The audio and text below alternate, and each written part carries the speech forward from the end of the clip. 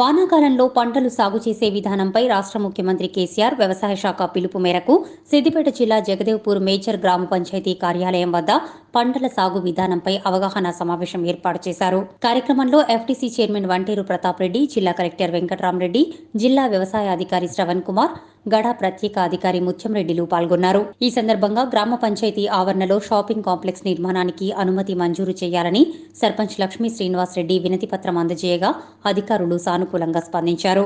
అదేవిధంగా సీఎం కేసీఆర్ మంత్రి హరీష్ రావులకు ధన్యవాదాలు తెలుపుతూ వారి చిత్రపటాలకు టీఆర్ఎస్ మండల పార్టీ అధ్యక్షులు గుండా రంగారెడ్డి ఆధ్వర్యంలో క్షీరాభిషేకం చేశారు.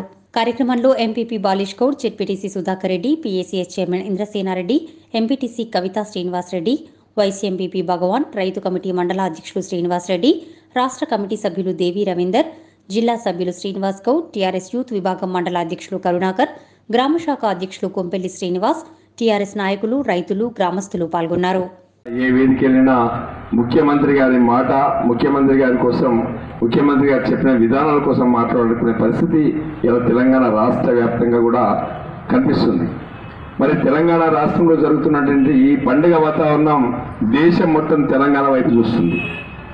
ఎందుకంటే గత ఆరు ఏడు సంవత్సరాలుగా మన ముఖ్యమంత్రి గారు వ్యవసాయ రంగాన్ని తెలంగాణ రాష్ట్రాన్ని ఈ దేశానికి అన్నం పెట్టే రాష్ట్రంగా తీర్చిదిద్దాలి. ఈ దేశంలో ఉన్నటువంటి అన్ని రాష్ట్రాలకు ఆదర్శంగా తెలంగాణ రాష్ట్రం ఉండాలి.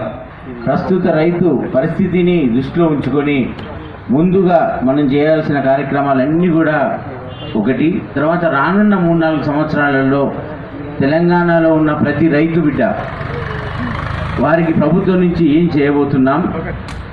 ఆ రైతు ప్రపంచంలో ఉన్న అందరి రైతులతోని పోటీ పడే విధంగా ఒక రైతు సంక్షేమ రాష్ట్రంగా తెలంగాణని అభివృద్ధి చేయాలనే ఆలోచనతోని ఒక పెద్ద కార్యక్రమం స్వీకరిస్తున్నాం. అందులో కలెక్టర్ల పాత్ర చాలా కీలకం.